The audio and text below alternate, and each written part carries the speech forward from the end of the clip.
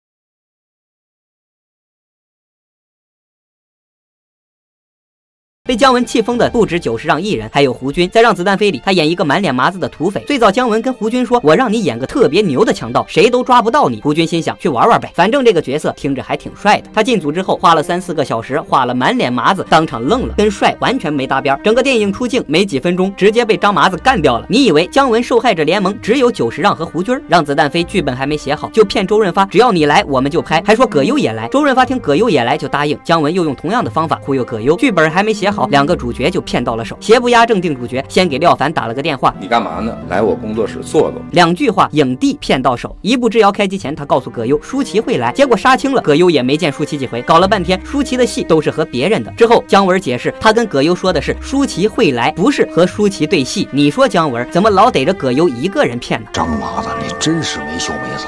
汤师爷是我的挚爱。